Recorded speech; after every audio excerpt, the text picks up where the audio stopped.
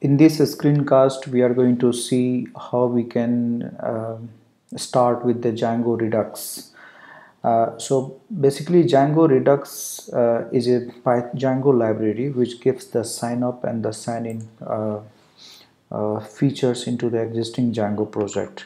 So if you give Django Redux registration so you will be lending to this particular webs uh, website where is uh, the required documentation for how to start with the Django Redux. So let us start with creating a Django project first and then we'll add this Django registration Redux as a app. So what we can do is let's create a folder uh, called Django Redux and go inside the Django Redux folder and as we uh, know we have to start working with creating a virtual environment first. So let's create a virtual environment first.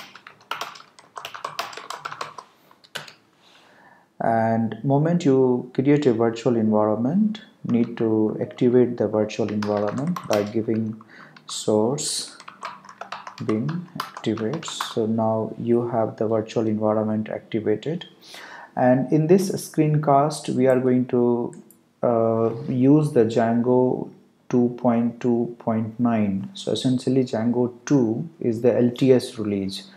Uh, so if you can browse through the Django uh, official documentation and go to the download section uh, you will have the latest version which is 3.0 uh, but uh, you can also use essentially when we work on any project we use the LTS release latest LTS release.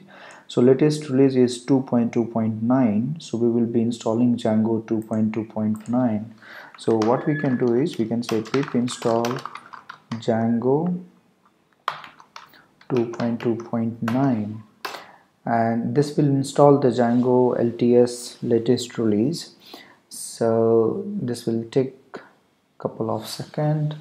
And once once this process is completed then we need to start a Django project. And if you in case if you are getting some sort of warning something like this so better you should upgrade the pip. So how you can upgrade the pip is by giving this command uh, which will upgrade the pip within the virtual environment if you wanted to upgrade the pip inside globally uh, you have to do it within the system not within the virtual environment. So once uh, now pip is also uh, successfully upgraded. Now what we have to do is we have to create a Django project. So we can say Django admin start project Django Redux and since we have already created Django created a Django uh, folder sorry folder called Django Redux uh, we we are going to consider the same folder as a project folder. So we have to give a space and dot and this will create a Django project within the existing folder. Now we have to migrate it and moment you migrate then you will have the default database in SQLite uh, and then let's say python manage.py create super user.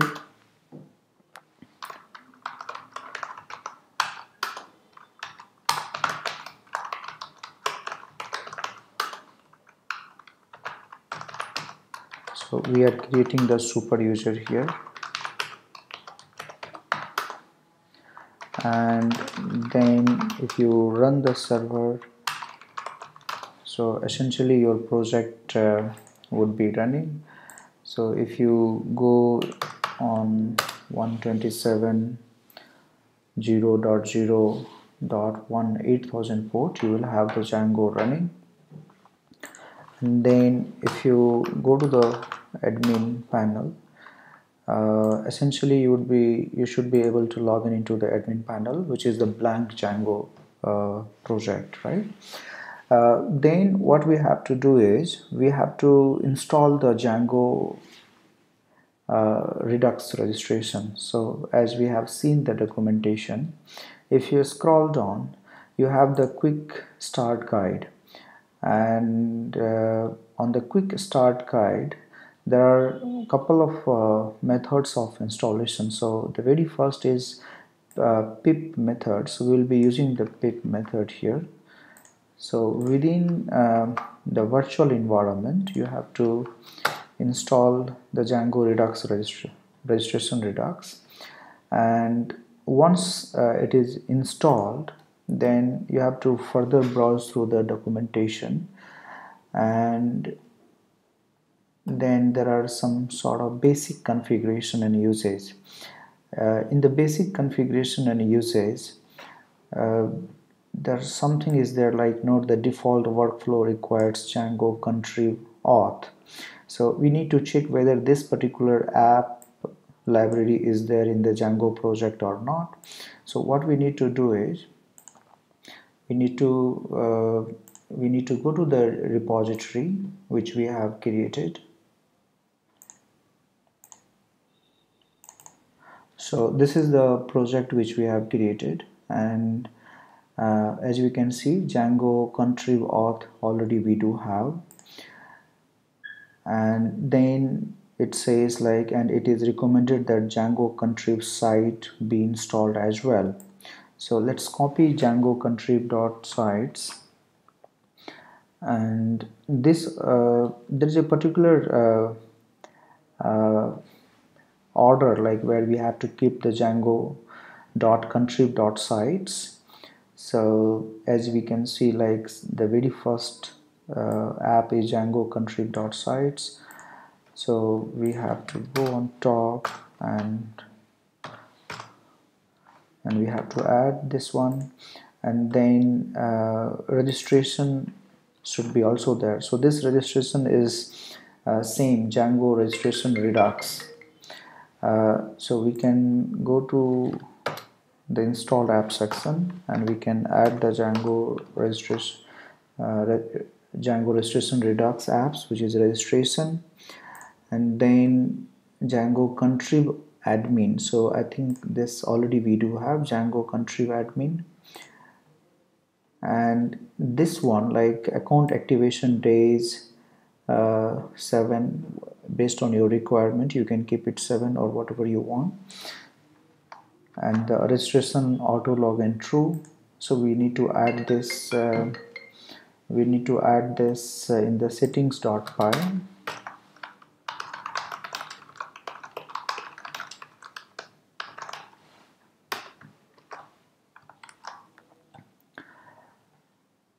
and then we have to move on and then it says once you've done this you have to migrate.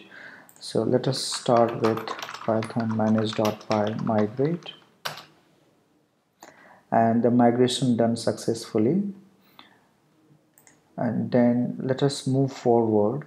And now the next step is to set up the URL uh, in the URL uh, the project URL uh, we need to add this. So let us copy this one and go to the project URL section. And in project URL let us add this. And as you can see like uh, Django version 2 onwards uh, you know they use path instead of URL whereas uh, you know so we have to also use the path itself. So let's use path. And since you have used a path so should be like this. And we need to also include here.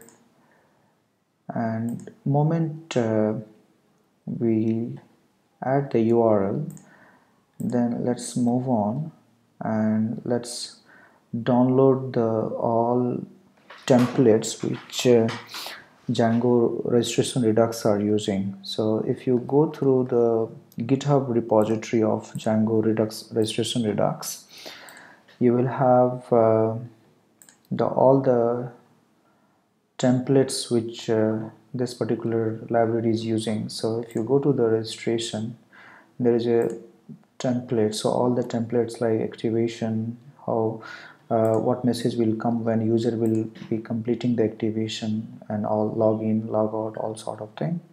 So what we need to do here is we need to just download in the zip file. And moment you download just uh, extract it and let's uh, add it into the project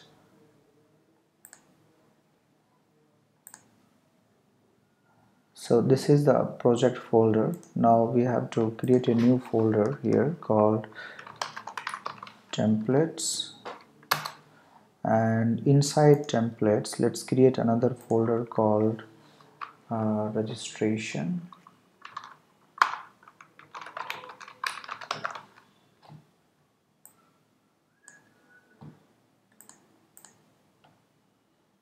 Right? So registration and let's go to the downloaded templates. Now here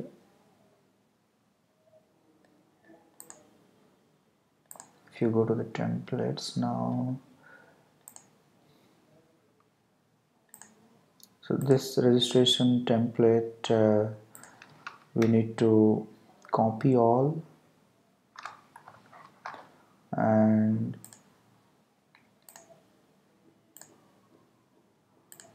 we need to paste it inside.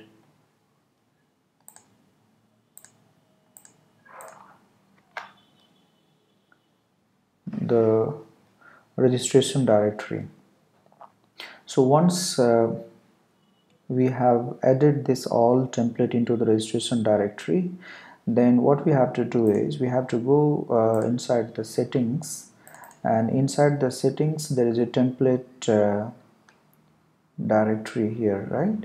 So the template uh, you have to add the required path. So let's say we are since uh, and this particular path you have uh, already mentioned here also os path right? So you can say os path join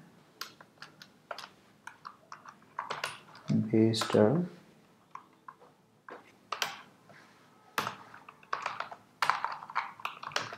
and name of the folder which we have and then save this one. Uh, so moment you add the path of the template then you have to also add the site ID so what we need to do here is go in the settings.py and add site ID equals to 1 and this site id is essentially the django site id moment you uh, complete the site uh, this these particular settings now if you go and run this uh, project and you you browse through the now here uh, here as per the tutorial I mean tutorial documentation. If you browse through if you browse through the accounts and accounts uh, registered here so essentially you should be able to log uh, browse to the accounts register. No this is not working. Uh, so maybe uh, the template uh, or template I mean system is unable to find the template.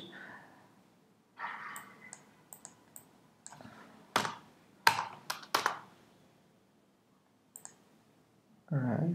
So what now we have to do is we have to just uh, identify what exactly uh, maybe let's check migration is we have completed the migration or not.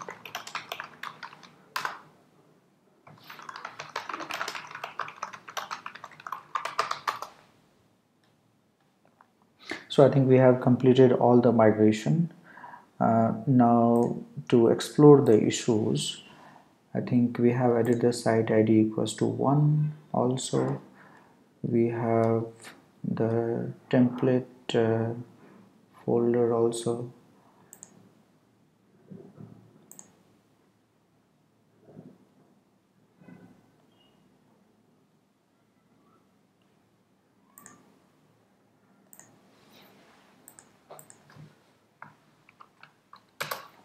Let's see what uh, defined the following order. So I think the templates uh, unable to match the templates right? So let's check it out the 404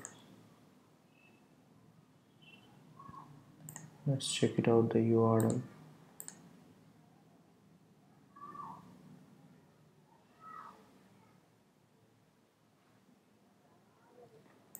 right. so we'll identify uh, what exactly the issue is and we can proceed with uh,